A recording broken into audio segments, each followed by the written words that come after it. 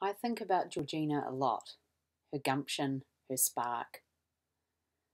Madam Speaker, I will take the liberty of assuming that I would be the only member in this House that would have first hand knowledge uh, of the sex industry, having been a sex worker in the past.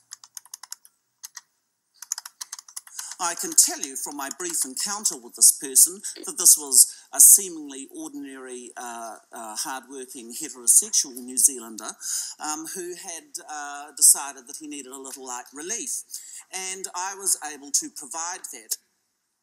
We happened to be followed by some police. Uh, the police summarily uh, pulled us up and proceeded to uh, separate myself from the client.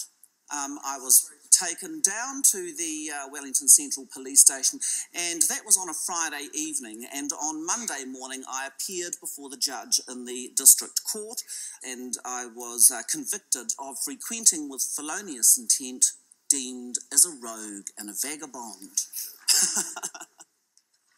what really got up my nose, Madam Speaker, uh, was that we never, never got any justice from the point of view of the client being made responsible for having been the other party in this transaction.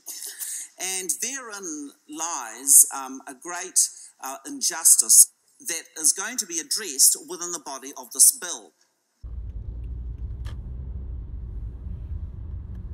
When I was 17 years old, Georgina Beyer was our local representative in Parliament.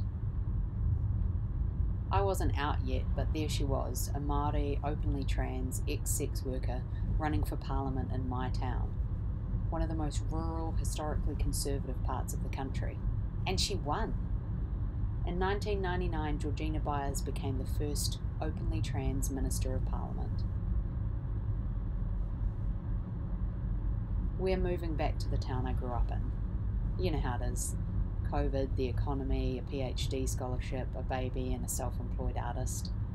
It's not forever, I tell myself. It's definitely not forever.